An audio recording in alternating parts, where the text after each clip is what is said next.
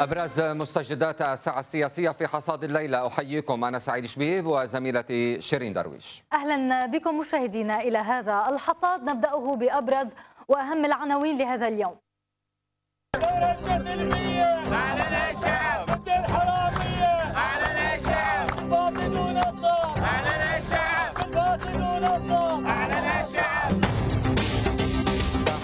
بغداد وست محافظات عراقية تغص بالمحتجين.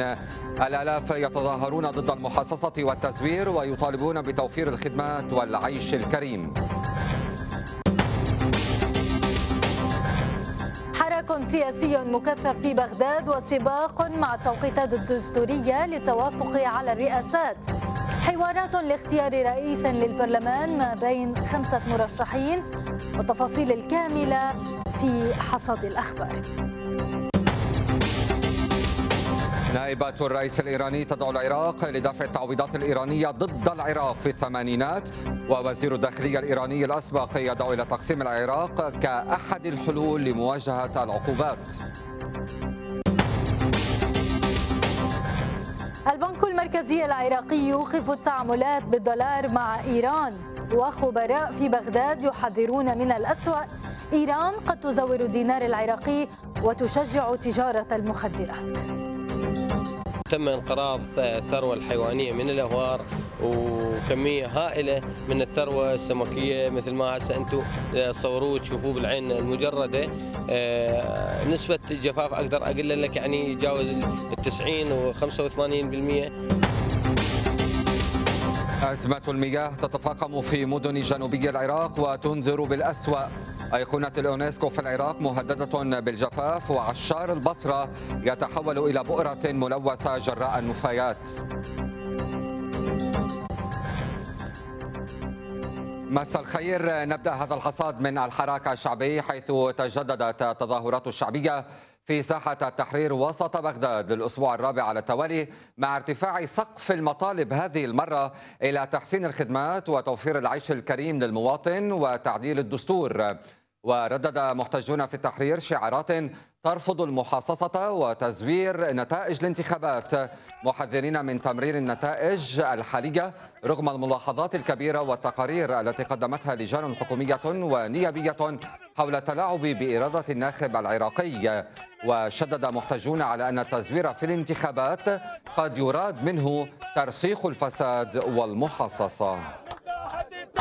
أعلن الشعب للتغيير. أردنا للتغيير. أعلن الشعب أردنا سلمية أعلن الشعب أردنا سلمية أعلن الشعب ضد الحرامية أعلن الشعب الفاسدون الصوت أعلن الشعب الفاسدون الصوت أعلن الشعب هذه الجمعة هي امتداد لباقي الجمع ربما أنه ال- الآن نتائج الانتخابات وإن ظهرت لكن هناك ردة فعل تقول بأننا لا نأبه بهذه النتائج. هذه النتائج آه، ليست من صنع القرار العراقي إنما آه، صناعة آه، من من جهات إقليمية استطاعت أن تؤثر على الناخب العراقي هو سلب صوته أو سرقة الأصوات عبر التزوير. هذا كله في جانب والاحتجاج في جانب آخر. الاحتجاج يطالب بتغيير شامل تغيير أنظمة الأنظمة بكاملها قانون الانتخابات إعادة صياغة الدستور بما يتناسب مع الدولة المدنية. كثير من المطالب ما زالت تتجدد. لا, لا مراهنة على الانتخابات إطلاقا المراهنة هو على صوت الشارع.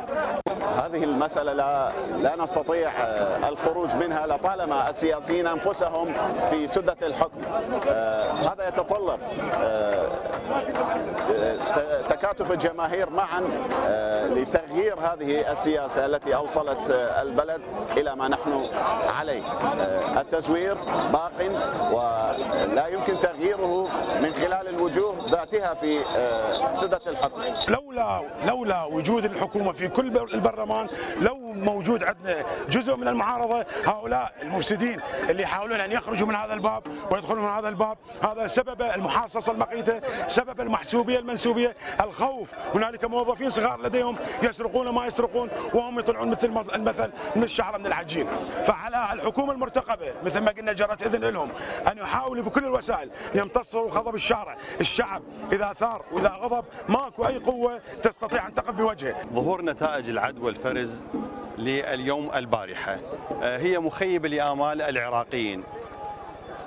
هل نعتقد وهل نتصور أن نتائج نتائج العد هي مطابقة 99% هذا غير ممكن وهذا مخيب لامال العراقيين. بالرغم من انه هنالك نتائج عد صارت أصبحت غير مطابقة المناطق الغربية وابعاد ثلاث فاسدين وباستبدال غيرهم.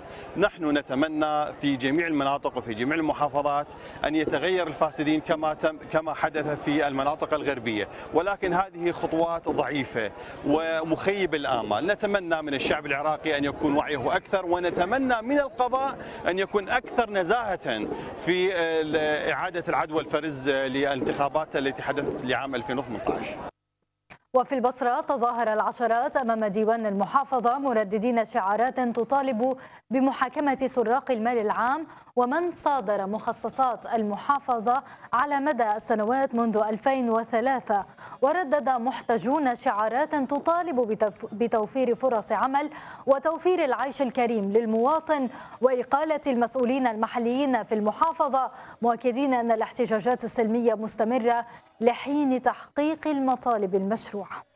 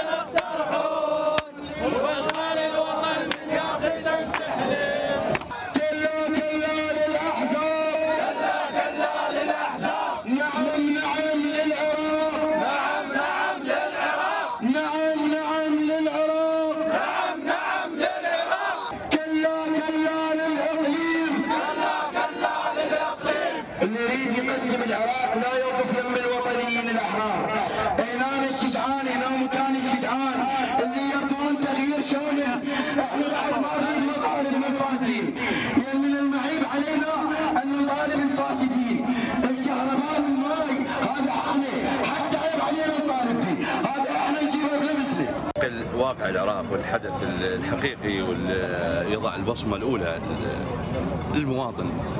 قضية كانت مطالب أساسا وهي أساسا مو مطالب حقوق مسلوبة. والحقوق تؤخذ ولا تعطى. إحنا حقوق مسلوبة من 2003 إلى يومنا هذا. تخدير عبارة عن نيالين للشعب ما جاي يعني يحققون 1% الجزء الواحد بالمية ما جاي يتحقق الحكومة. مجرد وعود وتهميش وما أعرف يعني قضيتهم وين يريد يوصلونها. هذا الشعب واعي شعب مثقف شعب العراق كله وخصوصا شعب البصرة بالأخص يعني طالما إحنا بالبصرة. هذا تسييس القضية ليش؟ المتظاهرين يطالبون بحقوق بسيطة دول العالم الثالث اللي هي متوفرة أساسا أساسا إحنا ما موجودة. ومن البصرة إلى النجف أكد متظاهرون هناك أن التظاهرات المستمرة منذ سنوات لم تشهد محاسبة مسؤول رفيع استجابة للتظاهرات الشعبية الكبيرة في المدن كافة. وطلب متظاهرون تجمعوا في ساحة مجسرات ثورة العشرين بكشف مصير المليارات التي تم صرفها للمحافظة وبإعادة الأموال التي سرقها السياسيون بالإضافة إلى واردات المطار وباقي المنافذ.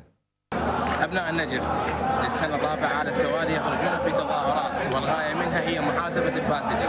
وإلى اليوم لم نرى أي محاسبة لأي فاسد صغيرا أن كان أم كبيرا نطالب من الحكومة أولا أن يطول للشعب العراقي فارق برميل النفط اللي سن قانونا الموازنة 46 دولار واليوم يتراوح سعره من 275 إلى 80 دولار، هاي الأموال كلها ما حد فيها الشعب العراقي وين نطالب بفارق العملة، نطالب كل محاسبة الفاسدين مرة أخرى، محاسبة الفاسدين، تغيير مدراء الدوائر بجميعهم ومحاسبتهم أيضا. اليوم أخرجت مدينة النجف الأشرف بفتوى سماحة السيد السيستاني أطال الله عمره، هذا جموع طلعت لأنه صار فد زخم عليها، صار عليها ضغط، لا عندهم رحمه على الشعب، اولادنا تاذى تاذينا.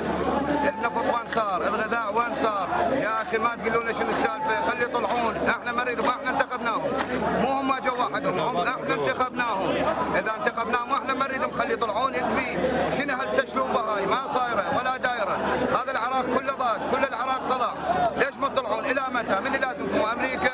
روحوا يا أمريكا. ها هم أبناء النجف خرجوا هاتفين من أجل العراق من زاخو إلى الفاو. ينظرون الجميع بعين واحدة بمسافة واحدة. ها هم أبناء العل... أبناء أمير المؤمنين علي بن أبي طالب. يهتفون من أجل الإصلاح من أجل العلاج العراق المظلوم. ها هم يدافعون عن الكرد ويدافعون عن المحافظات الغربية ويدافعون عن الفرات والجنوب. من أجل الإصلاح ومن أجل دعم طرد الفاسدين من الحكومة العراقية من أجل ترفيه الشعب العراقي. فها هم المظلومون ها هم أبناء أبنائنا عوائل الشهداء. ينظرون إلى العراق ينظرون إلى المراجع ينظرون إلى النجف فالنجف كبيرة بشبابها وبإمامها وبمرجعيتها. فهنيئا لكم يا أبناء النجف هذا النفس الحر الأبي. الحصاد مستمر من الشرقية نيوز.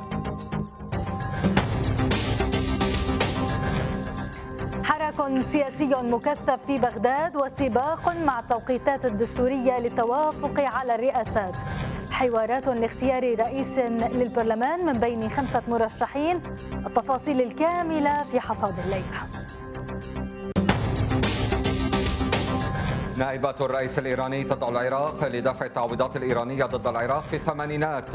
ووزير الداخلية الإيراني الأسبق يدعو إلى تقسيم العراق كأحد الحلول لمواجهة العقوبات.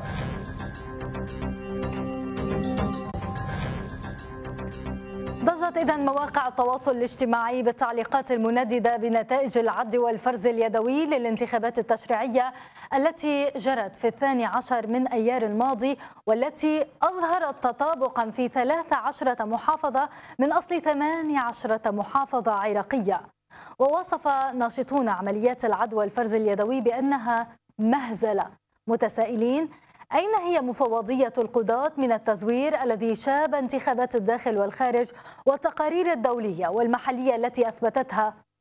أين هي من النتائج التي أظهرتها اللجنة العليا التي شكلها رئيس الوزراء؟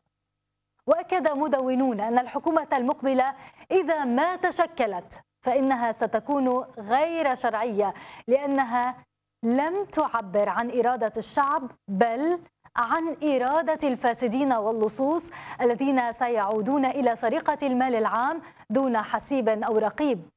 أحد الناشطين كتب ساخرا من النتائج المطابقة وقال لو عايفين النتائج على خياط أول كان أوجه لأنهم صرفوا فلوس بدون مقابل.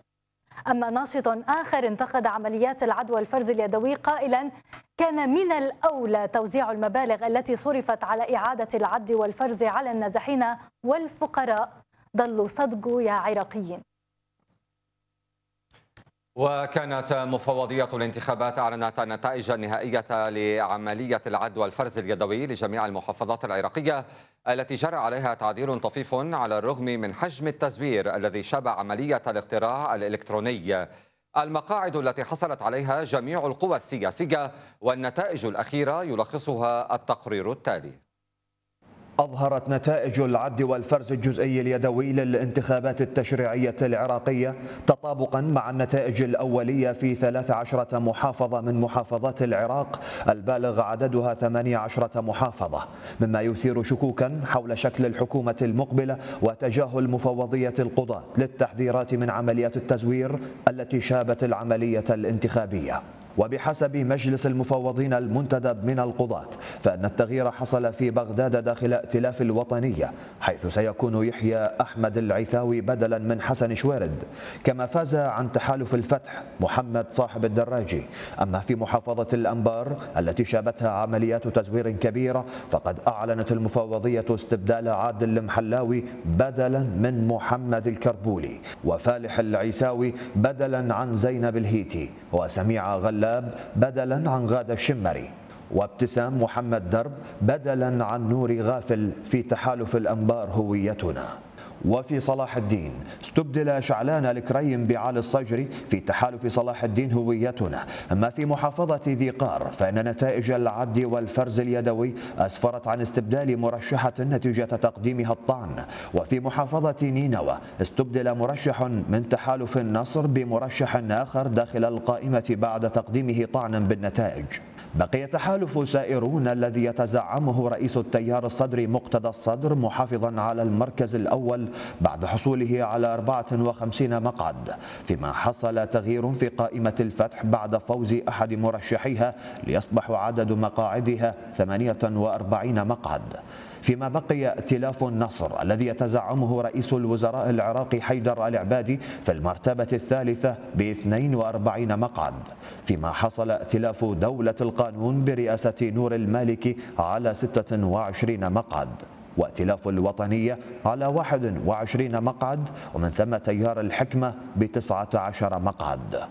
مراقبون للشأن العراقي حذروا من أن النتائج الأخيرة التي أصدرها مجلس المفوضين قد تثير فوضى في بعض المحافظات من أبرزها كركوك التي ظهرت نتائجها مطابقة على الرغم من الدلائل التي تؤكد تزوير العملية الانتخابية فيها.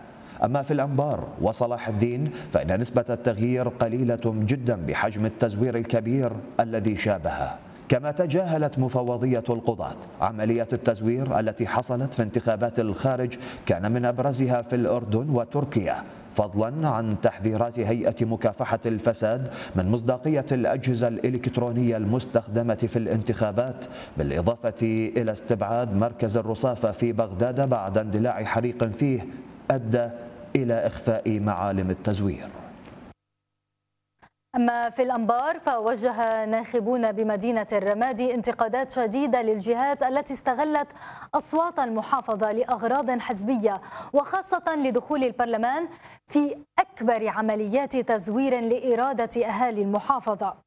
وعبر سكان أحياء العزيزية والجمعية وشارع 60 وسط الرمادي عبروا عن خيبة أملهم جراء الإعلان عن فوز أشخاص سرقوا المحافظة وأساءوا إليها عبر التزوير. والله إحنا نطالب اعاده الفرز بشكل مضبوط حتى نكون آه، يسعد كل شخص وياخذ استحقاقه. ما يسعد شخص مزور على حساب على حساب شخص آخر. يعني آه، أخذ آه، استحقاقه والناس نخبته وناس يردته كفاءة وما يسعد يسعد شخص آخر.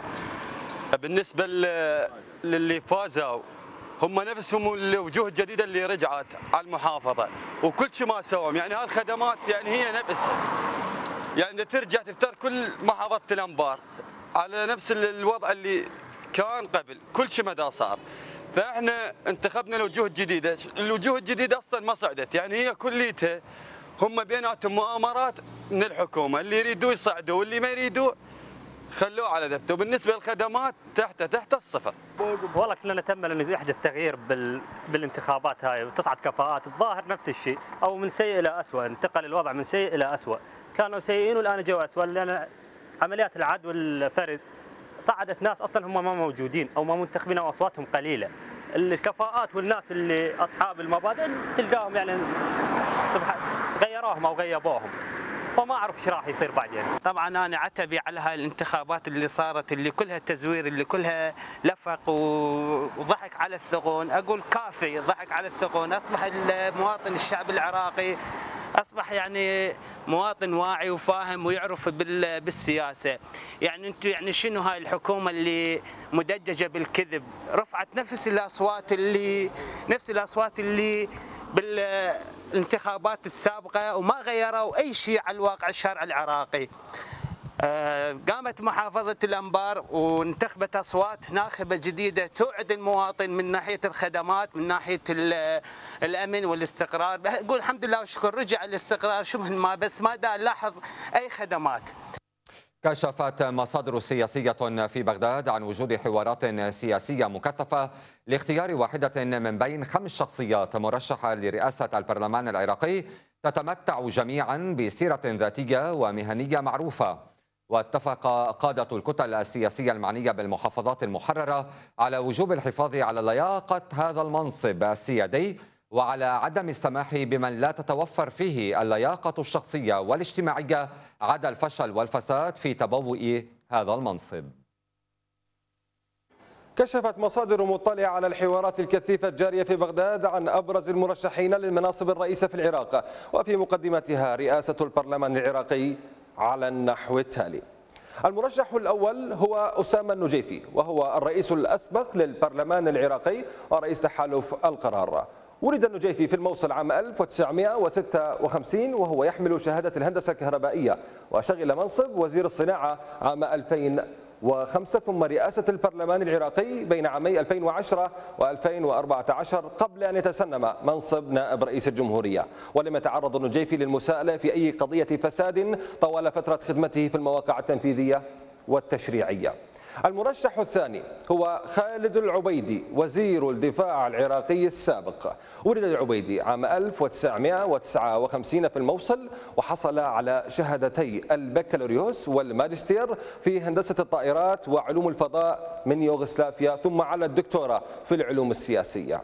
المهندس الطيار خالد العبيدي سبق له أن تصدى لقضايا فساد قبل أن يقيله البرلمان السابق الذي كان موضع اتهام من العبيدي نفسه بعدم الحيادية والتغطية على الفساد.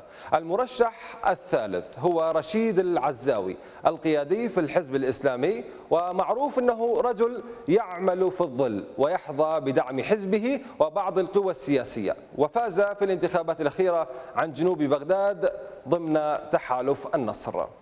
المرشح الرابع هو محمد تميم البرلماني المخضرم منذ عام 2005 الذي فاز للمرة الثالثة عن قائمة عرب كركوك. ولد محمد تميم في كركوك عام 1974 ويحمل شهادة الدكتوراه وشغل منصب وزير التربية بين عامي 2010 و2014 المرشح الخامس هو طلال الزوبعي من مواليد بغداد عام 1969 ويحمل شهادة البكالوريوس في الإعلام وهو عضو في تحالف القرار. فاز للمرة الثالثة في الانتخابات عن بغداد ويتمتع بدعم قوي مكنه من الفوز بعضوية البرلمان ثلاث مرات متتالية. كان الزوبعي رئيس لجنة النزاهة البرلمانية في الدورة السابقة.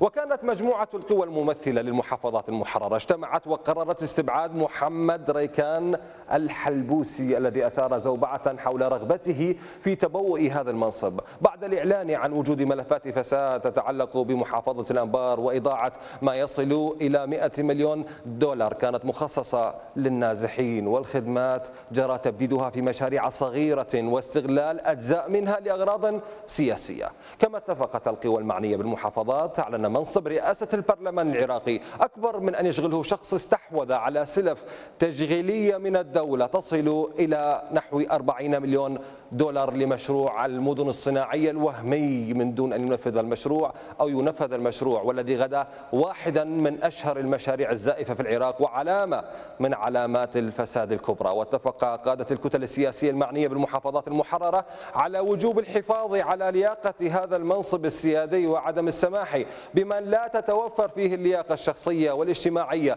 عدا عن الفشل والفساد في تبوء هذا المنصب.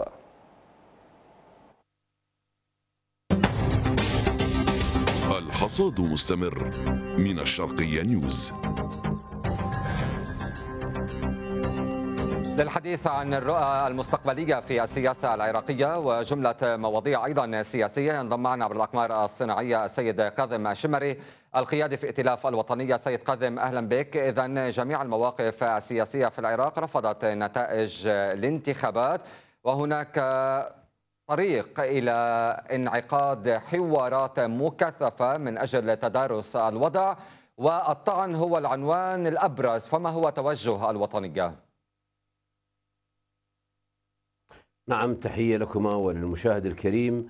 مرة أخرى تظهر نتائج الانتخابات أو نتائج العدو الفرز وهذه المرة العدو الفرز اليدوي مرة أخرى يظهر مخيبا للآمال.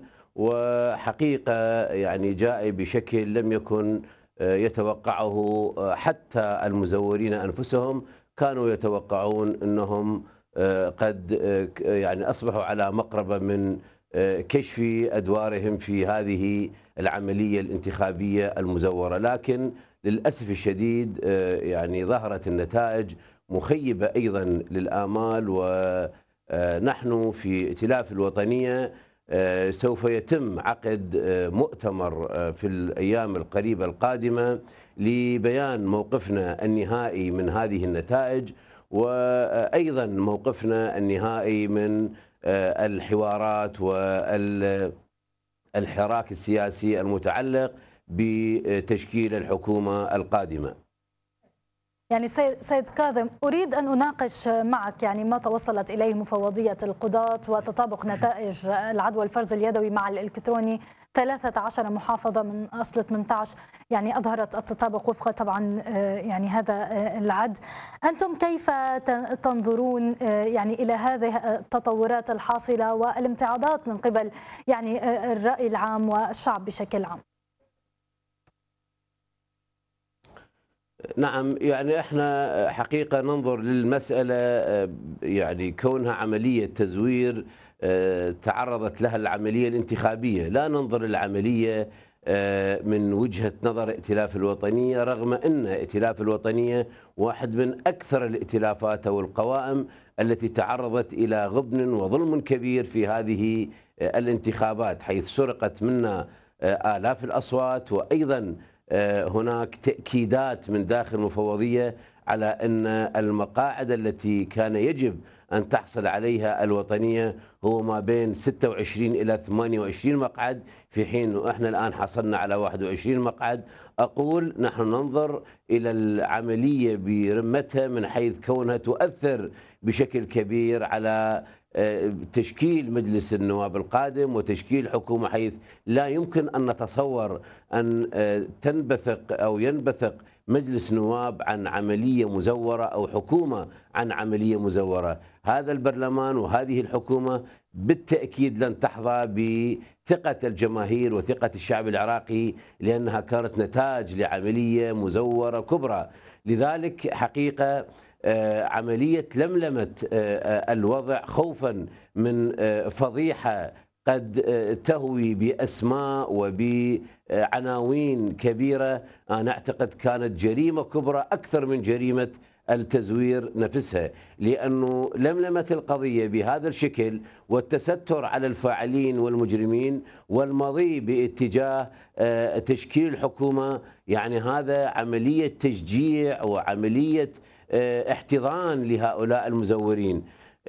نحن نشترك مع كافة القوى السياسية التي اعترضت على نتائج الانتخابات في ضرورة أن يتم ملاحقة المزورين سواء في القضاء أو في الحكومة عند تشكيل الحكومة القادمة وعدم السماح لهم بالاستمرار بمصادرة إرادة الشعب العراقي وإرادة الناخب العراقي حيث أن فوات الفرصة في هذه المرة. سيجعل من هذه من هذه الجماعات يخلق منهم مافيات انتخابية ستتلاعب بالنتائج مستقبلا ولن تسلم منها محافظة أو تسلم منها قائمة بل ستكون مافيا خطيرة تتعلق يعني مافيا كبيرة تغامر بمستقبل العراق. ائتلاف الوطنية يتحفظ بشكل كبير على نتائج العدو الفرز الذي أعلن يوم أمس وسيتم إعلان موقفنا الرسمي والنهائي خلال اليومين القادمين بمؤتمر صحفي ستعقده أو سيعقده الائتلاف إن شاء الله. إذا هذا هو بالضرورة سيد قادم وقت حكومة الإنقاذ الوطني التي أشرتم إليها مسبقا. ممن تتكون ومن أين تبدأ؟ ولم تجبني على السؤال الأول. هل ستطعن الوطنية بنتائج الانتخابات. أم أنكم رأيتم بأن لجنة تقصي الحقائق النيابية قدمت الشكاوى مع اللجنة الوزارية واعترضت ولم يأتي الشيء مغايرا. لا بالتأكيد إحنا إحنا إحنا متمسكين بأدواتنا القانونية وسيتم الطعن بهذه النتائج. وحقيقة لا يمكن السكوت على هذه المهزلة الكبيرة ونوابنا وائتلاف الوطنية سيطعن بالنتائج خلال الفترة التي حددها القانون وسنلجأ لكافة الطرق التي رسمها القانون في الاعتراض وفي الطعن وكل ما يتعلق بمسألة الاعتراض على النتائج التي أعلنت يوم أمس. طيب ولكن تعلم أن الأمور ماضية يعني والحكومة ستمضي في تشكيلها رغم هذه الاعتراضات التي تسجل منكم ومن غيركم. برأيك وتصورك ما شرعية الحكومة المقبلة؟ إحنا يعني يعني خلي قبل أن أتحدث عن شرعية الحكومة المقبلة أقول إنه إذا كانت عملية انتخابية بهذا الحجم الكبير من التزوير والمجلس النواب القادم آه، لا يمكن حقيقة وفق هذه المعطيات أن يحظى بثقة الجمهور العراقي وحتى الحكومة التي سيصوت عليها مجلس النواب. ما هو الحل أمام آه، هذه المشكلة الكبيرة؟ الحل من وجهة نظر الوطنية كما آه، ذكرنا سابقا ومرارا حقيقة هو بتشكيل حكومة إنقاذ أو حكومة طوارئ تأخذ على عاتقها إعادة آه، تقييم العملية السياسية والقيام بعملية إصلاح حقيقية وجدية وشاملة للمرحلة القادمة. نعتقد إنه تشكيل مثل حكومة مثل هذه الحكومة حكومة الإنقاذ سيعيد بناء الثقة بين الجماهير والعملية بالعملية السياسية. وأيضا حقيقة سيضرب على المزورين بيد من حديد. وإحنا كنا حقيقة الآن يعني بحوارات مع بعض القوى السياسية لكن اعلنها الآن من خلال قناتكم الكريمة. للأسف الشديد إنه هذه الدعوة لم تجد آذانا صاغية من أغلب القوى السياسية وحيث إن هذه الغالبية كانت آه، تريد المحافظة على مكتسباتها التي تحققت نتيجة التزوير في هذه الانتخابات وكانت آه، يعني حقيقة آه، تريد المضي بتشكيل هذه الحكومة وكأن حل المشكلة هو بتشكيل حكومه، المشكلة هو مو بتشكيل الحكومة أو بالإسراع بتشكيل الحكومة، اليوم قناتكم عرضت تظاهرات بأغلب محافظات العراق، ما هي مطالب هؤلاء المتظاهرين؟ هل خروج هؤلاء المتظاهرين هو هو بطرا أم آه، يعني آه، يعني موضوع آه، يعني ماكو مشكلة؟ ابدا خروج هؤلاء المتظاهرين المطالبة بحقوقهم والمطالبة بالخدمات والمطالبة بإصلاح الوضع السياسي. تشكيل هذه الحكومة لن يؤدي إلى تقديم الخدمات ولن يؤدي إلى إعطاء الجماهير العراقية والشعب العراقيه حقوقه الضائعة منذ أكثر من 30 عاما. تشكيل حكومة الإنقاذ ونحن ائتلاف الوطنية. نعلن أمامكم أنه إحنا أول ائتلاف سيتنازل عن كافة مقاعده في مجلس النواب آه، إذ ما حصل الاتفاق على تشكيل حكومة الإنقاذ وإعادة آه، آه، بناء العملية السياسية بشكل كامل من خلال الأقطاب السياسية الموجودين اللي ممكن أنه هم يضعون تصوراتهم لعملية الإصلاح القادمة. طيب طالما تتحدث عن العملية السياسية المقبلة هل من أولويات حكومة الإنقاذ التي تدعو إليها الوطنية هو تشكيل الائتلاف الأكبر لذا تواجدت ضمن وفد لمناقشة هذا الموضوع؟ أه، نعم يعني هذا شيء وهذا شيء آخر يعني إحنا لما فتحنا حوار مع بعض القوى السياسية وأعلنا هذه الفكرة على اجتماع أه، رئاسة الجمهورية وأيضا بحضور طبعا أكثر من 11 أه، يعني زعيم سياسي. وأيضا طرحنا هذه الفكرة في اجتماع رئيس الوزراء وبحضور أكثر من 22 زعيم سياسي. وحقيقة آه، لم نجد تجاوبا من معظم آه، هذه القوى السياسية. لذلك نحن يعني حقيقة لا نريد أن نخلق فوضى أو لا نريد أن نصر على أن رأينا هو الصح. إحنا طرحنا هذه الفكرة وعندنا استعداد للالتزام بها. لكن آه، إذ ما آه، إذ لم يحصل آه، في حال لم يحصل هذا المقترح على موافقة الاخوه الشركاء فبالإمكان إحنا عندنا فكرة أخرى وهي التي كانت محل نقاشنا في حواراتنا الأخيرة ومنها حوارنا مع الأخوة في قائمة النصر هو أن تشكل حكومة أقطاب.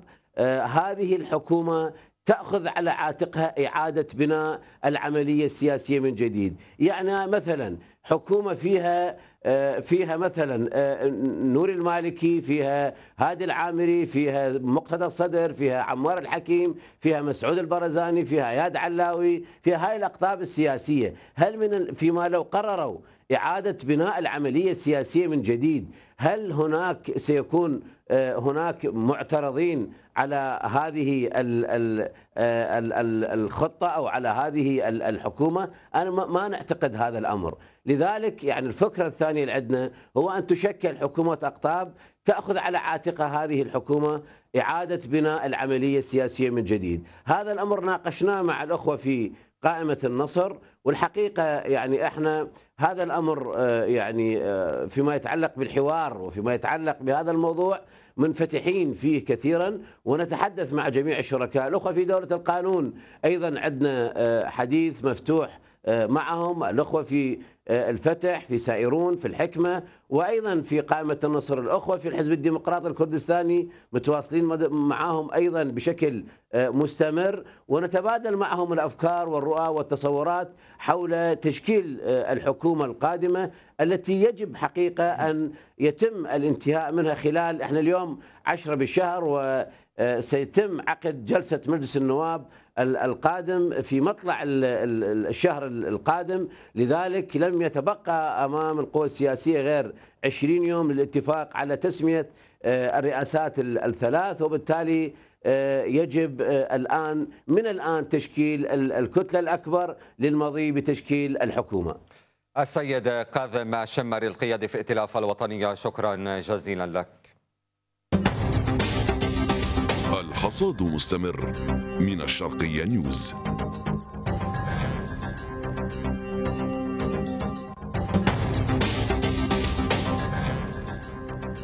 نائبة الرئيس الإيراني تدعو العراق لدفع التعويضات الإيرانية ضد العراق في الثمانينات ووزير الداخلية الإيراني الأسبق يدعو لتقسيم العراق كأحد الحلول لمواجهة العقوبات.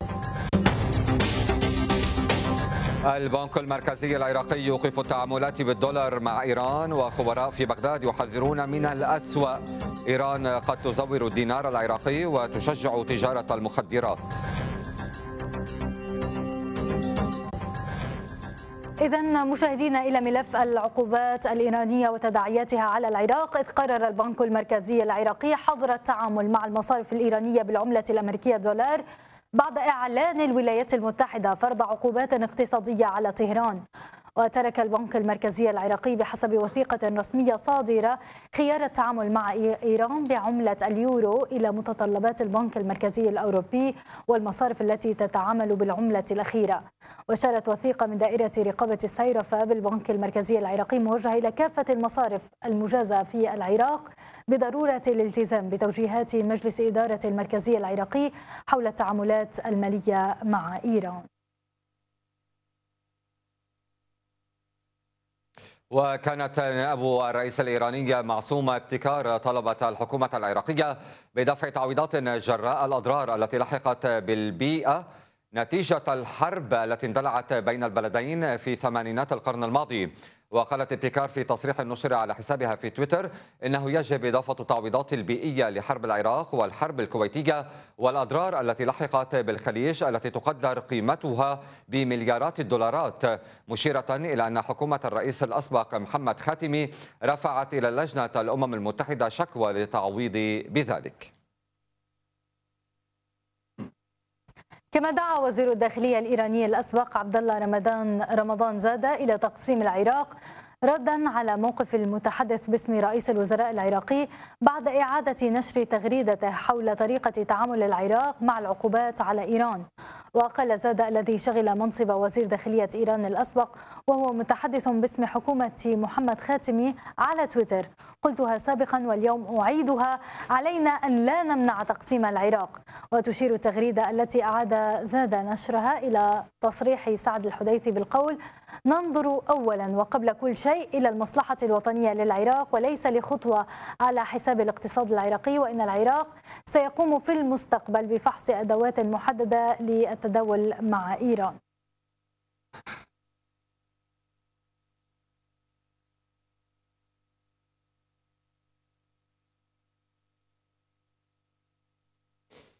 نبقى في ذات الموضوع حيث حذر خبراء اقتصاديون من آثار كارثية لعدم التزام العراق بالعقوبات الدولية المفروضة كما ذكرت شيرين على إيران التي ستلجأ إلى وسائل غير مشروعة للالتفاف على تلك العقوبات عبر الحدود الطويلة مع العراق. وقال الخبير الاقتصادي ماجد أصولي لبرنامج الجمهورية السادسة إن أولى تلك الوسائل هي تجارة المخدرات داخل العراق وتزوير الدينار العراقي فضلا عن عمليات تهريب أخرى محتملة عبر الحدود.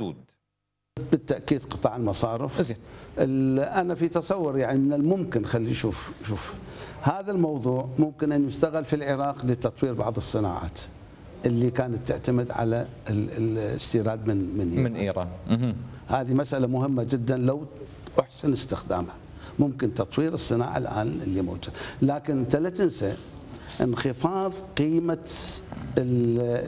الريال الإيراني أو التومان الإيراني. هذا سيساعد على السياحة من العراق إلى إيران. تدفق سياحي وبالعكس وبالعكس السياحة العكسية ستنخفض. زين. هاي مسألة طبيعية هاي. زين. أكو صدرت تلميحات يمكن حضرتك سمعتها أو قريت عنها فيما يتعلق تلميحات أمريكية فيما يتعلق بتهريب العملة إلى إيران.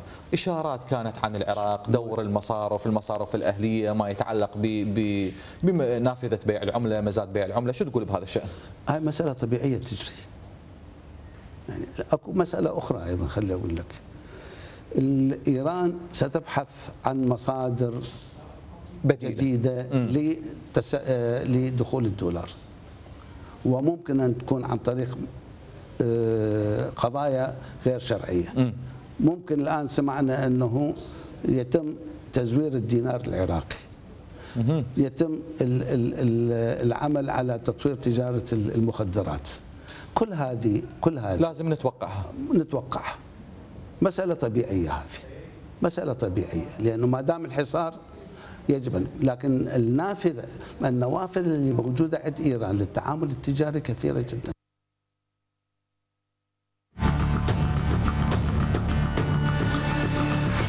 نحن ندين التزوير كأن من كان. إلغاء نتائج انتخابات الخارج والنازحين لثبوت خروقات تزوير جسيم ومتعمد ما جرى اليوم هو حلقة لإكمال مسلسل التزوير الذي حدث في يوم 12 إما أن أفوز باللعب أو إما أخرب الملعب.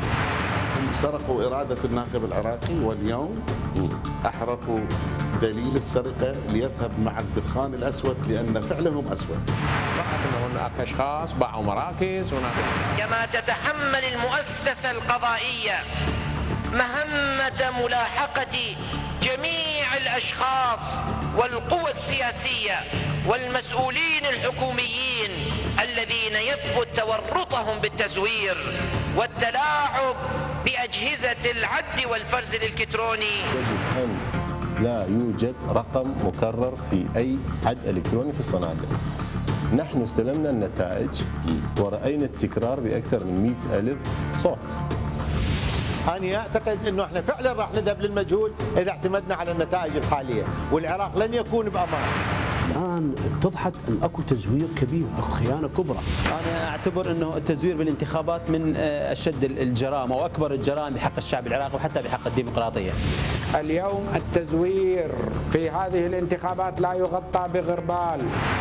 إحنا فائزين وندعي أن هناك تزويرا قد حصل. يعني أنا كنت أتمنى أنه ننتهي بعملية من عمليات العدوى الفرز كي نكتشف المزورين.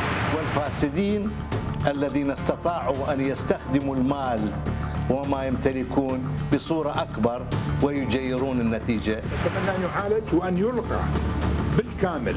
الانتخاب المشروع بالمهجرين والنازحين لأنه استغل استغلال خاطئ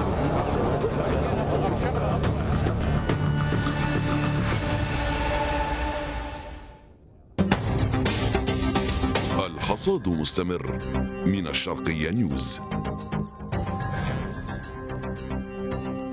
نستكمل مشاهدينا الحوارات السياسية ومواقف الكتل حول التطورات الأخيرة. معنا العضو عن ائتلاف دولة القانون السيد محمد العقيلي في هذا الحصاد للحوار. أهلا بكم سيد محمد. إذا هناك حراك لتشكيل يعني الحكومة والكتلة الأكبر وهناك اختلاف كما تعلمون في دولة القانون وخلاف على تعريف الكتلة الأكبر. لنبدأ أولا بالتوضيح يعني عن ماهية وتعريف الكتلة الأكبر.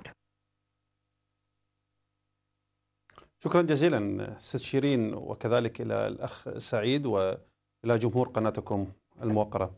يعني بالتأكيد الكتلة الأكبر هي حسب ما ذهب إليها الدستور وفسرتها المحكمة الاتحادية الكتلة الأكبر التي تجمع أكبر عدد مقاعد من البرلمان التي تسمى في الجلسة الأولى الافتتاحية إلى البرلمان. تقدم كتاب يقدم كتاب رسمي من الكتلة الأكبر إلى رئيس السن يقوم باعتماد هذه الكتلة لتشكيل وتسمية رئيس الحكومة القادم. هذا من ناحية التعريف. من ناحية الحراك لا زالت دولة القانون يمسك بزمام الأمور لتشكيل هذه الكتلة. هذه الكتلة لدينا مفاتحات ولدينا مباحثات ولدينا حوارات معمقة وقريبة جدا من الائتلافات لإعلانها وهي تكون بطريقة الشق الطولي إلى المكونات العراقية التي هي لديها أوزان انتخابية. كل المكونات العراقية السياسية سوف تشترك بهذه الكتلة الأكبر لنتمكن من تشكيل أكثر من ثلثي مقاعد البرلمان، هذا الطموح طبعا.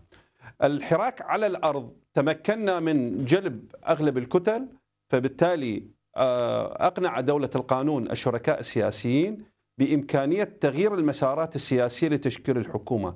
ما ممكن أن نمضي ب يعني سياقات لتشكيل الحكومة كالتي يعني شكلت الحكومات السابقة، الجمهور الآن يريد مسارات متغيرة، يريد مسارات منتجة إلى العملية السياسية في المؤسسات في الدولة العراقية، فبالتالي لابد أن يكون هناك برنامج سياسي يضبط إيقاع وعدم آه، يعني إفراط العقد ما بين الكتل السياسية المنضوية تحت الكتلة الأكبر. هذا البرنامج السياسي سوف تكون فيه أولويات للعمل السياسي.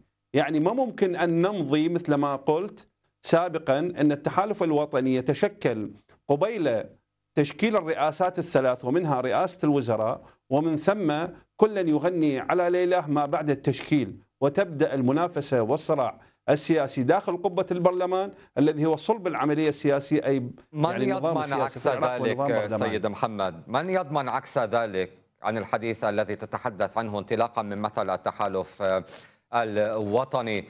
ويعني من هم الشركاء السياسيون الذين اقتنعوا بفكرة ائتلاف دولة القانون في ظل جملة التساؤلات؟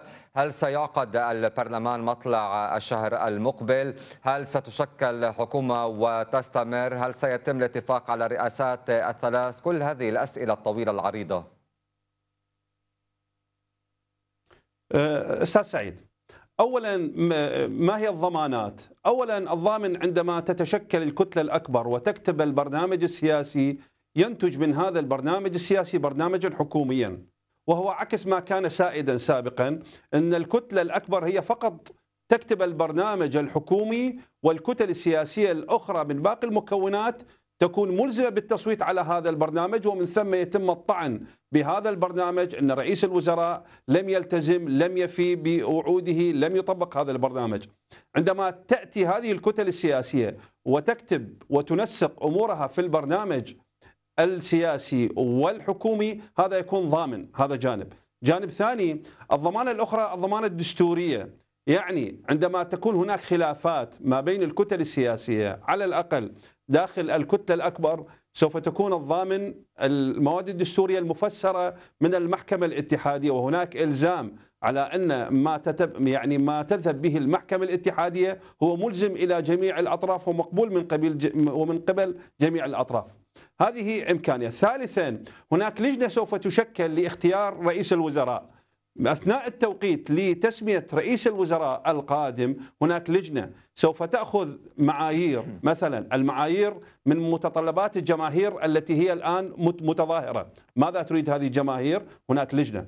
يعني المعيار الآخر هو معيار المرجعية عندما ذهبت باتجاه رسم خارطة الطريق لتشكيل الحكومة القادمة ومواصفات رئيس الوزراء القادم. ثالثا يعني النصوص الدستورية كذلك الجانب يعني الجنبه الوطنية هذه كلها معايير عند اللجنة مشكلة من كل الكتل السياسية التي هي داخل الكتله الأكبر. وهذه ضمانات. هذا لم يكن معمول به سابقا. فبالتالي اولا هناك سوف نقلل المساحة على المحاصصة، أنا لا أقول سوف نضرب المحاصصة كاملة لأن المحاصصة متجذرة ولا زالت العقليات السياسية في بالها وفي مخيلتها تريد المحاصصة على أساس النقاط، على أساس يعني الوزن الانتخابي على أساس وزن المكون وتمثيل المكون والتمثيل الحزبي يعني من جهة فئوية ضيقة. من الممكن أن نقلص مساحات المحاصصة. هذا جانب. سوف نلغي جانب المغانمة. يعني هذا جانب جدا مهم وسوف نذهب باتجاه من الممكن نقلل مساحات الفساد الذي هو مستشري في البلاد. فبالتالي هذه يعني الضمانات التي حضرتك سألت عنها. تفضل إذا عندك سؤال آخر. طيب. في هذا يعني الجانب. أريد أن أسأل وأؤكد من جديد عن التوقيتات الدستورية. برأيك هل الكتل يعني سيد محمد ستلتزم بالتوقيتات الدستورية وهذه مسألة وجانب جدا مهم؟ أحسنتي. التوقيتات الدستورية تبدأ من تاريخ يعني المصادقة من قبل المحكمة الاتحادية على النتائج النهائية التي سوف تقر من قبل المفوضية. فبالتالي تبدأ التوقيتات الدستورية. أنا أعتقد الكتل السياسية هي محرجة تماما بعدم يعني انتهاك أن تكون هناك انتهاكات للتوقيتات الدستورية لأن الشارع يراقب، الشارع غاضب على الكتل السياسية، فبالتالي ولا كتلة من الكتل السياسية مستعدة للمجازفة بأن تكون هناك انتهاكات للتوقيتات الدستورية، هذا جانب. جانب ثاني الحراك السياسي الكبير أو الماراثوني. الذي يعني أتيح للكتل السياسية بالتفاهم والحوارات مكن الكتل السياسيه الاتفاق على الخطوط العامة والخطوط الرئيسية، فبالتالي بقت التفصيلات من الممكن أن تحسم هذه التفصيلات في قادم الأيام القريبة، يعني قبيل العيد أو بعد العيد الأضحى المبارك، فبالتالي هناك يعني التزام بالتوقيتات الدستورية، أنا أعتقد في مطلع الشهر القادم سوف تكون هناك يعني الجلسة الأولى لمجلس النواب ومن ثم يتم يعني تسمية يعني الرئاسات الثلاث. أمر آخر النتائج التي أظهرتها المفوضية كموقف لنا دولة القانون نعتبر هذه النتائج التي يعني أظهرت أمس هي نتائج شكلية مجرد يعني أريد أن تغطى العملية وتسيير العملية بهذا الاتجاه. كدولة قانون نعلم علم اليقين إن هناك تلاعب وهناك تزوير. ذهبنا إلى مجلس النواب يعني قبل الانتهاء ليكون العد والفرز شاملا وهناك إجراءات يعني كانت من مقررات مجلس النواب. لكن للأسف يعني سيرت العملية باتجاه العد والفرز الشكلي ولا حتى العد والفرز الجزئي، لو كان عدا وفرزا جزئيا لكانت هناك نسبة بالعد والفرز من الممكن أن تكون 5% من الصناديق، 10% من الصناديق، لكن هذا لن يحصل، حصلت الآلية القديمة لعمل المفوضية السابقة بأن تكون هناك الشكاوى والعد والفرز للصناديق المشكو منها. فبالتالي لن تأتي المفوضية بشيء جديد وحتى كانت هناك شكلية أوسط يعني مثال على ذلك هو الصناديق الرصافة التي احترقت. ما هو مصير النتائج في هذه يعني في في في جانب الرصافة؟ عموما نحن نريد أن نحافظ على البلد من الانزلاق بأي منزلق لا سمح الله لا يخدم. المنطقة تغلي الحراك يعني الآن في المنطقة لا يسر من الممكن أن يذهب بعدم الاستقرار والعراق من الممكن أن يكون أول المتضررين من هذه الأحداث في المنطقة ما بين والولايات نفهم من كلامك سيد محمد كي لا ينزلق و... الوضع إلى وضع كارثي أسوأ لذا ستقبلون بالنتائج كما هي؟ ولو كان هذا العد والفرز شكلي كما ذكرت أو النتيجة النهائية بحسب دولة القانون فمن سيقتنع بما سيخرج به البرلمان فيما لو انعقد مطلع الشهر المقبل. يعني بما أنها شكلية ونريد أن نحافظ على وضع البلد وأن النتائج خرجت من يعني لجنة قضاة مفوضية من قضاة نريد أن نحفظ للقضاء هيبته ولا نريد أن نطعن بالقضاء فبالتالي سوف نمضي على مضض من على يعني لهذه النتائج. لكن لدينا إجراءات. برلمانية في البرلمان القادم. عند التشكيل لدينا خطة عمل. نريد أن نقف على الحالات التي كانت موجودة في الانتخابات وهي حالات خطرة. لا نريدها أن تتكرر في الانتخابات القادمة، نريد أن نرصن هذه العملية الانتخابية، نريد أن نشذبها من الزوائد ومن المداخلات الدولية والإقليمية وحتى يعني الداخلية، لا نريد للعملية الانتخابي أن تكون محطة لعدم الثقة من قبل الجمهور ومن قبل الكتل السياسية ولا حتى من الدول.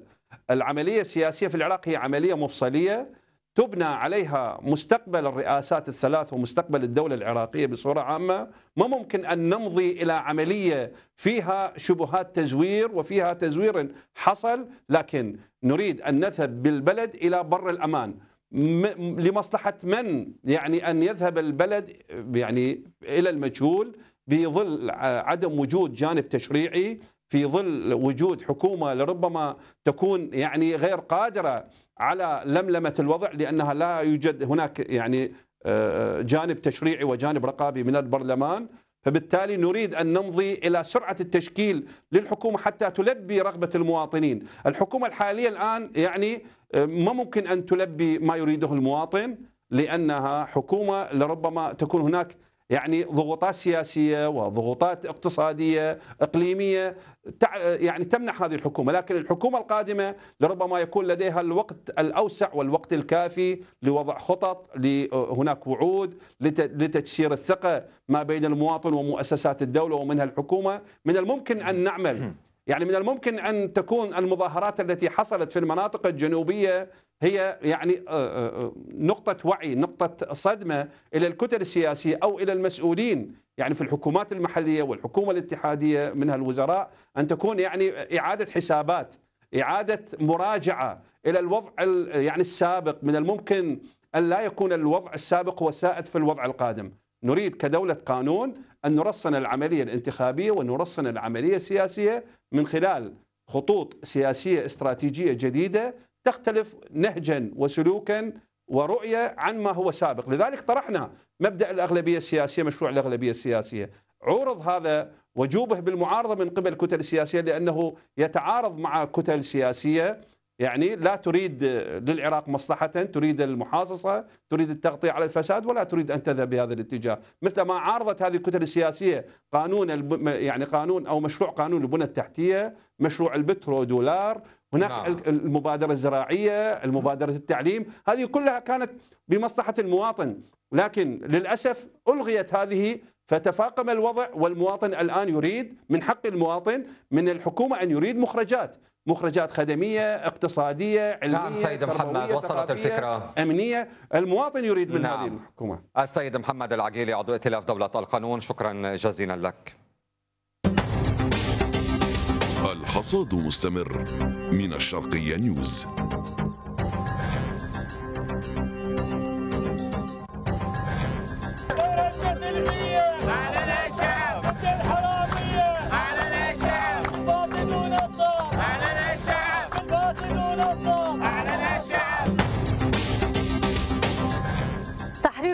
تحرير بغداد وست محافظات عراقية تغص بالمحتجين.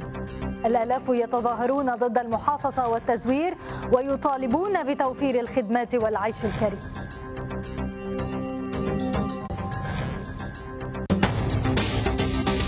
نائبة الرئيس الإيراني تدعو العراق لدفع التعويضات الإيرانية ضد العراق في الثمانينات.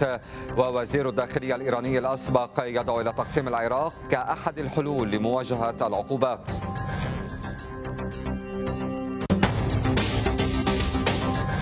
البنك المركزي العراقي يوقف التعاملات بالدولار مع إيران وخبراء في بغداد يحذرون من الأسوأ. إيران قد تزور الدينار العراقي وتشجع تجارة المخدرات.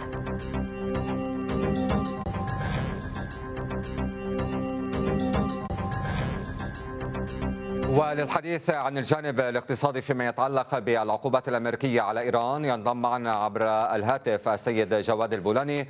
عضو سابق باللجنة الاقتصادية النيابية سيد جواد أهلا بك هل فعلا أو من حيث المتوقع أن تأتي خيارات إيران الاقتصادية على حساب العراق أم أن التصريحات السياسية داخل البلد حصنت العراق نوعا ما؟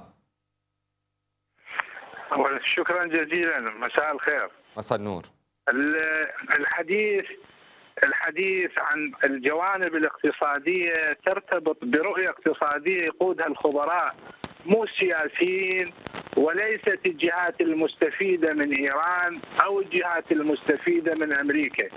العراق يجب أن ينأى بنفسه عن طريقة التعاطي مع المشكلات وفق قضايا ترتبط بأولا مصلحة العراقيين ومصلحة الوطن في ظل انعدام الخدمات وفي ظل تراجع ال- الحالة المعيشية للفرد العراقي إحنا وإيران بلدين جارين مسلمين تربطنا علاقات مهمة لكن مو أفلش بلدي وأبني إيران. إيران مبنية وإمكانياتها جيدة ودولة صناعية وزراعية فنريد من كل إخواننا السياسيين أن يشجعون الحكومة العراقية القادمة على أن تصير مثل الدول المجاورة في إمكانياتها.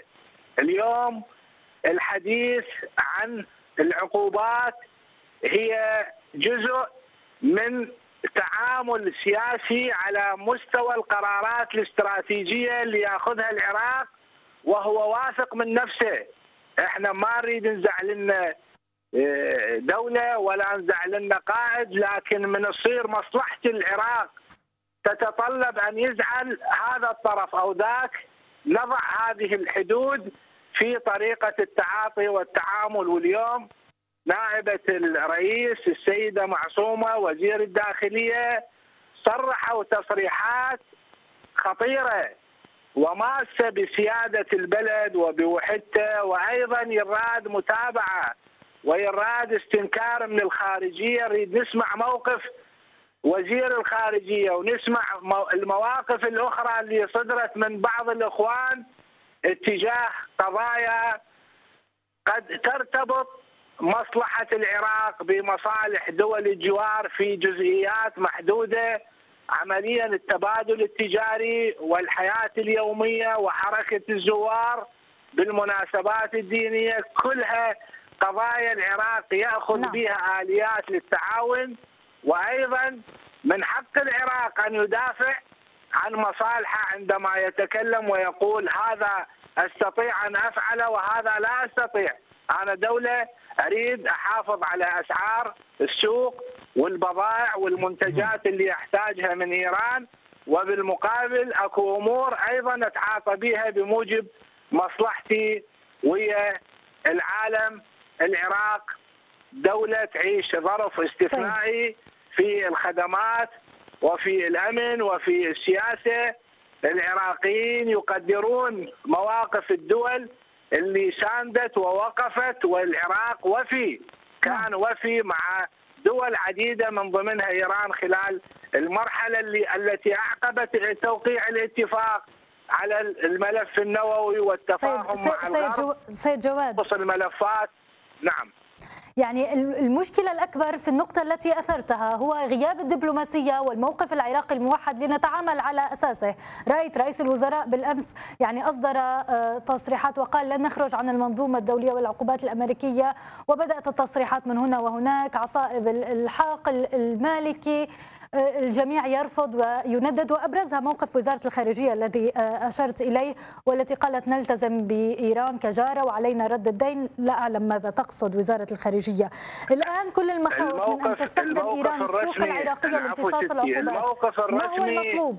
موقف يجب أن يحترم ويقدر رئيس الوزراء من يصدر بيان ورؤية تنسجم مع تطلعات المرحلة القادمة، لماذا تتحول كل الآراء إلى فكرة تشكيل الحكومة؟ ومن يدفع بالكتله الأكبر لإبعاد وإقصاء هذا الطرف، لذلك لابد أن نفكر كعراقيين، نفكر كطبقة سياسية عراقية، إحنا مهمتنا ندافع عن العراق وندافع عن بلدنا ونحترم الدول المجاورة بعلاقاتنا وحتى الجار من يشوفك أنت حريص على مصلحة بلدك يحترم هذه الإرادة ويتعامل وياها. بعدين إحنا الميزان التجاري والتفاعل اليومي بالسلع والبضائع اللي تحتاجها الأسواق، إحنا نريد أسواقنا تستقر وقسم من البضائع الإيرانية توصلنا هي يعني تتماشى ويا الوضع الاقتصادي للفرد العراقي فما نريد نخسر هذا الاستقرار ولا نريد نتطرف بالحديث عن أشياء وقرارات مو من صلاحية أي جهة أو أي طرف يتكلم ويضعف قدرة الحكومة على اتخاذ المواقف الاستراتيجية المهمة. طيب ذكرت السيد جواد ما تحدثت به نائب الرئيس الإيراني. أيضا كان هناك موقف لوزير الداخلية الإيراني حيث دعا إلى تقسيم العراق ردا على ما ذكره المتحدث باسم رئاسة الوزراء الذي قال بأنه في المستقبل هناك أدوات ستدرس للتعامل مع الجانب الإيراني كيف ترى هذه الردود؟ هل هي مسبقة من قبل الجانب الإيراني أم بما تنذر؟ أولا إحنا ما كنا نتمنى أن تصرح نائبة الرئيس بقضية تخص علاقات مهمة بين بلدين جارين ولا وزير الداخلية يتمنى تقسيم العراق. هو العراق تعرض إلى نكبات وويلات والعراق يبقى رقم صعب على كل من يرغب بتقسيمه. العراق رقم لا يمكن أن يقسم ونذكر كل إخواننا السياسيين الموجودين الآن واللي اليوم يتصدرون المشهد والمسؤولية اليوم المسؤولية والمساءلة. خلي ينظروا لها إلى طريقة الاحتجاجات بالشارع العراقي ومطالبه الدستورية السياسية؟ أنا أعتقد اليوم أسلوب المراجعة والتدقيق في كل العلاقات أصبح مهم ويرتبط بأن يأخذ القائمين على الوضع السياسي المنظومة السياسية في العراق قرارات استراتيجية تعزز من الوضع السياسي الوطني وأن يكون العراق دولة دولة توازن استراتيجي ومفتاح لبعض المشاكل. يعني ليش مو الإيرانيين يستفادون من علاقة العراق وأمريكا خلي يستفادون ويفتحون باب ومجال للعمل وللاستفادة من واقع وجود العراق باتفاقية استراتيجية مع الولايات المتحدة الأمريكية، العراق محتاج علاقات الاقليميه والدولية على مسافة واحدة ووفق مبدأ النعي بالنفس عن هذه المحاور اللي تضعف السياسة الرسمية للعراق. طيب سيد جواد بصفتك وزير داخلية أسبق يعني أريد أن أسألك كنا قد استضفنا أحد المحللين السيد السوري خبير اقتصادي وتحدث أنه إيران ربما قد تلجأ لتزوير الدينار لتجارة المخدرات لمحاولة طبعا امتصاص العقوبات الأمريكية هل يمكن أن يصل الحد إلى إلى هكذا درجات أكثر أو أو أقل من وجهة نظرك؟ يعني أول بالنسبة أن هنالك حاول أن يعبث بالاقتصاد العراقي في هاي الظروف وبالتالي راح يصير التأثير مباشر على الدينار العراقي وعلى القدرة الاقتصادية، أنا أعتقد هنالك يعني رؤية مطلوبة من المنظومة الاستخبارية للدولة والمنظومة السياسية والاقتصادية مجتمعا لحماية موارد البلد وقدراته المالية والنقدية وأيضا أن يحافظ على استدامة وضع الأسواق في الحاجات الأساسية اليومية.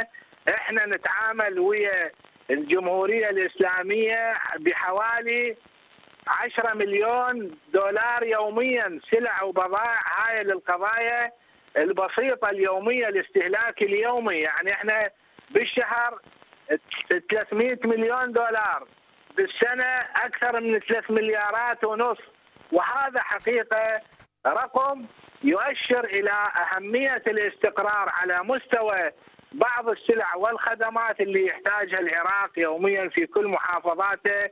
يعني الريوق والغداء والعشاء وكل الحاجات من القضايا اللي يحتاجها الفرد العراقي تشكل قضية قضية يعني أنا أعتبرها مهمة في نظر الحكومة العراقية.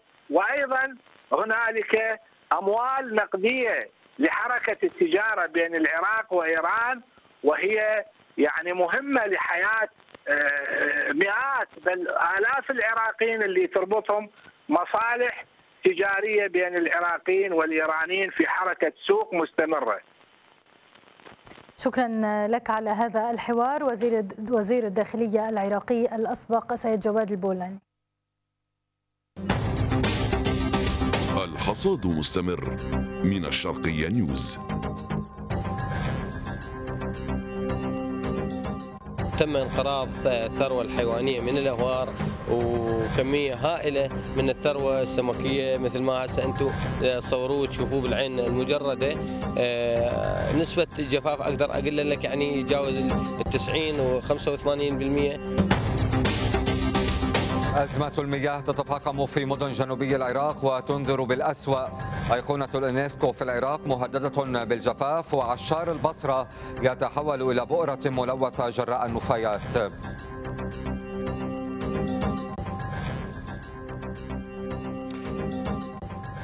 نتابع هذا الحصاد وفي منحى آخر دعت وزارة النقل العراقية المواطنين كافة إلى محاربة ظاهرة رجم القطارات مشيرة إلى أن هذه الظاهرة امتدت إلى قطار بغداد فلوجة بعد أن تعرضت لخطوط ذيقار والبصرة. وقالت الوزارة في بيان تفشت في السنوات الأخيرة ظاهرة تحطيم زجاج القطارات ورجم نوافذه بالحجارة خلال تنقلها بين المدن.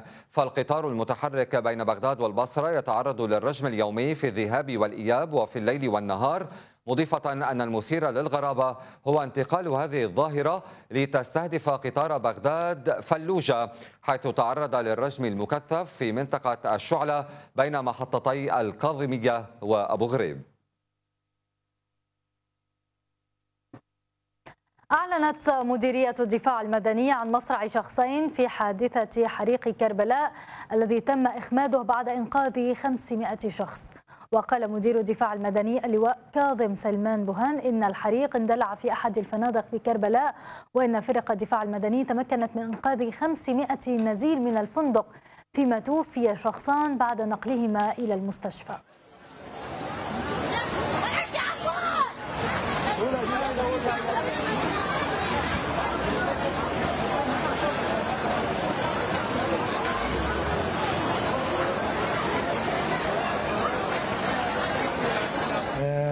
مع الاسف فقدنا آه، اثنين آه، توفوا إلى رحمة الله نتيجة الاختناق. آه، أنقذهم الفرق الدفاع المدني أحياء لكن وصلوا المستشفى مع الأسف فارقوا الحياة. كانوا ذولا من مجموعة سبعة أشخاص يصلون في سرداب الحسيني اللي وقع فيها الحادث. وهو يعني بعمق سحيق قياسا إلى سطح المصلى. الحسينية كانت ملأى عن آخرها وكذلك السرداب آه، الأضرار بالتأكيد حصلت في الحسينية لأنها أصلا مبنية من مادة السندويش بانل في آه، معظم أجزائها. الفندق من الأبنية القديمة وليست الحديثة أيضا بثلاث طوابق آه، محلات تجارية مجاورة. إلا أنه الأهم من كل هذا بأنه الحادث لو لم تتم معالجته بشكل سريع وفاعل لأتى على الشارع برمته. انفجر قدس للأعتداء تابع لفصيل في الحشد الشعبي غربي كربلاء في حادث هو الثاني من نوعه الذي تشهده المحافظة وذكر مصدر محلي بأن قدسا للأعتداء تابعا لفرقة العباس القتالية أحد فصائل الحشد الشعبي انفجر في منطقة الرزازة غربي كربلاء. وأشار المصدر إلى أن القنابل والأعتداد المنفلقة تطايرت في الهواء ما تسبب برعب كبير لدى سكان المنطقة إضافة إلى اندلاع حريق كبير قرب موقع الانفجار. وكانت فرقة العباس القتالية وصفت انفجار مخزن للذخيرة تابع لها في منطقة الرزازة بأنه عمل عدائي مقصود يهدف إلى تحطيم البنية التسليحية للفرقة من دون الإشارة إلى الجهة المتهمة بتدبير التفجير.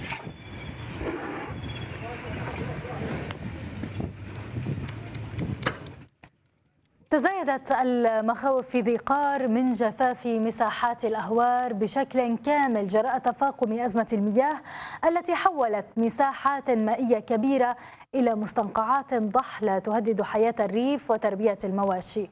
ويقول مواطنون إن مصير آلاف العائلات التي تعتمد على مساحات الأهوار بات مهددا. غزوان الغزي والتفاصيل. تزايد كبير في نسب الجفاف الذي ضرب الأهوار الوسطى جنوبي العراق. أهوار تشبايش واحدة من المستنقعات المائية التي حولت بين ليلة وضحاها إلى صحراء قاحلة عديمة الحياة. الأهوار الوسطى الآن تشهد موجه جفاف حادة جدا خاصة في مناطق عمق الأهوار المناطق المحيطه بمناطق الأهوار.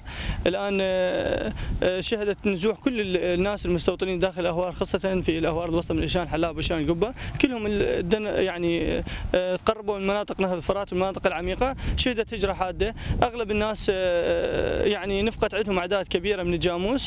الأهالي وبعد تجفيف مناطقهم صاروا في حيرة من أمرهم إلى أي مكان يتجهون ليؤمنوا العيش لهم ولمواشيهم التي صار الموت قاب قوسين أو أدنى منها.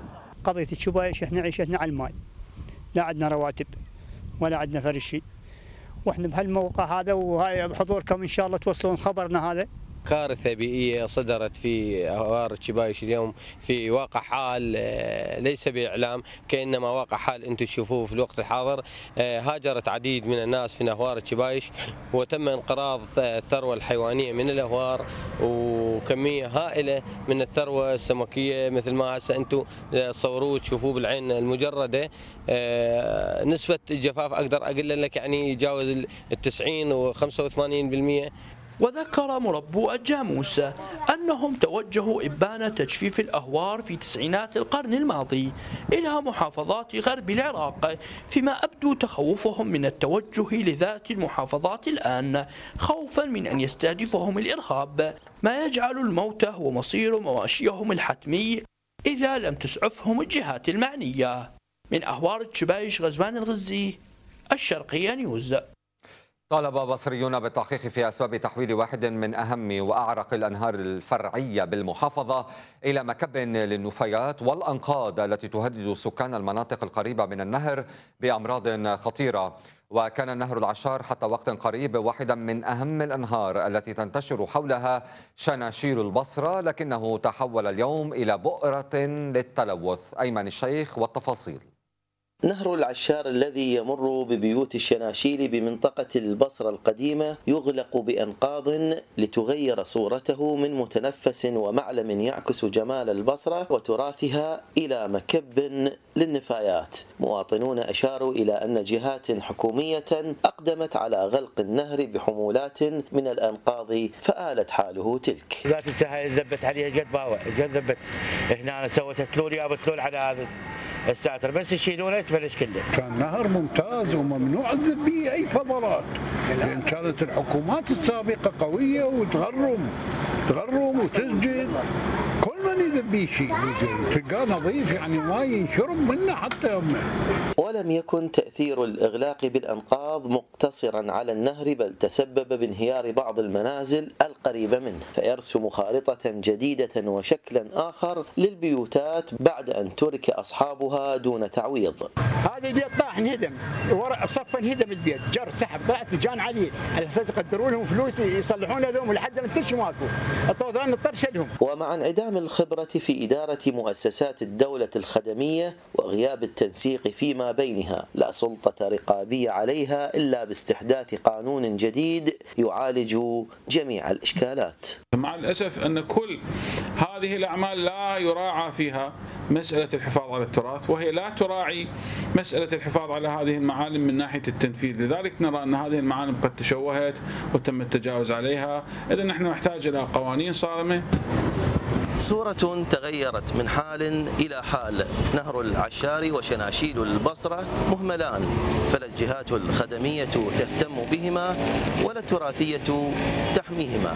من مدينة البصرة أيمن الشيخ الشرقية نيوز. سجلت مناطق النزوح في كركوك سابقة علمية مهمة بحصول طلبة من قرى مهدمة وتحت هياكل الحويجة على مواقع متقدمة في أوائل العراق في المراحل المنتهية عموما. ويؤكد نازحون أن المعاناة الإنسانية حفزت المحرومين من أبسط الخدمات على تغيير واقعهم عبر التفوق العلمي والدخول في المجالات الطبية والهندسية لتغيير واقع قراهم. أتلا الآغا والتفاصيل. كركوك تحتل مراتب متقدمة هذه السنة وتنافس الأوائل في العراق وإن كان مكررا وكل مدرسة تطمح أن يكون الأول من نصيبها. كركوك مديرية العام لتربية كركوك حققت نتائج متقدمة لهذا العام عام الدراسي 2017-2018